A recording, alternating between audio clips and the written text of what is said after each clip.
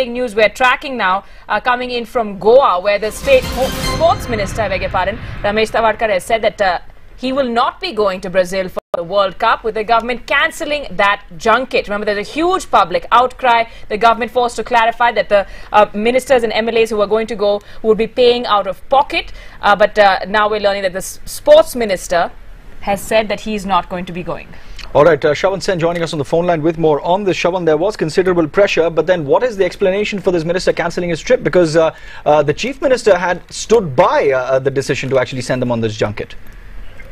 Absolutely, Arun. It's almost it's a big embarrassment for the Manohar Parrikar government. I just spoke to uh, to Ramesh the sports minister, a while ago. He's now confirmed that he's certainly not going ahead with this particular trip. Now he's saying that the government has asked, has cancelled this particular junket, and if at all, if anyone wants to go, will now have to go on their own expense.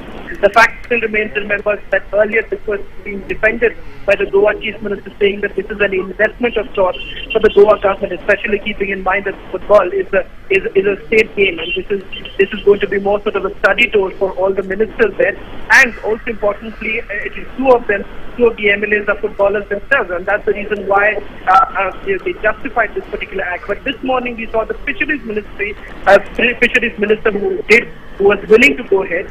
Now the sports minister is saying that certainly they are not going to go ahead because of the kind of pressure that they were under. Uh, remember, this there was no official statement being made, but now the sports minister admitting that yes, there was considerable amount of, of, of pressure on the government to actually cancel this. The opposition was also demanding that if at all that they are going to go ahead with this particular trip, they will have to now come out uh, in public and say who is actually sponsoring this particular trip. Remember, sources, reliable sources were suggesting that at least two of the leading business houses from Goa were ready to sponsor uh, the six MLAs from Goa to, for the trip to Brazil.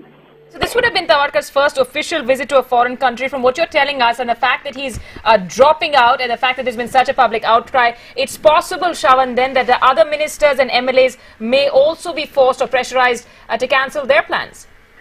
Absolutely, Amrita. At this point in time, we still do not know whether the other five MLAs, which are also includes two ministers from the, in, in, the Goa cabinet, whether at all they would be going. But this morning, when we spoke to the, fish, the fisheries minister, he certainly was pretty confident that he would be going ahead and this time he would be sponsoring on his own, irrespective of the fact that the kind of pressure that was on uh, Manohar Parrikar to actually justify this particular uh, this particular trip.